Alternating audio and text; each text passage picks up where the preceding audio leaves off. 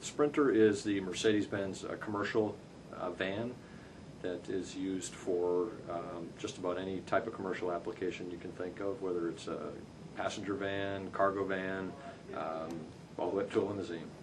Everything we do is all about the customer, it's not about us. Um, We're a best of the best deal, the only dealer in the Carolinas for the last two years, and we just really treat people special.